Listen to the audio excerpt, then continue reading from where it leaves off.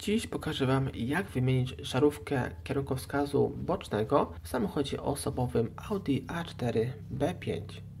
Ja tutaj posłużyłem się zwykłą kartą lojalnościową.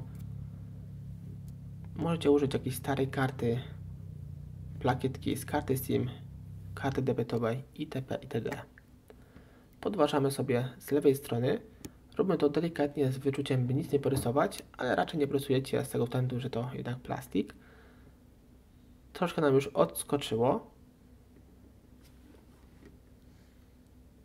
Można to zrobić oczywiście również od strony nadkola, byłoby bardziej bezpieczniej, ale w takim przypadku spójrzcie, że nic nie uszkodziłem żadnego zatrzasku i klosz razem z żarówką kierunkowskazu bocznego nam tutaj swobodnie, fajnie odskoczył i spokojnie sobie żaróweczkę wymienimy.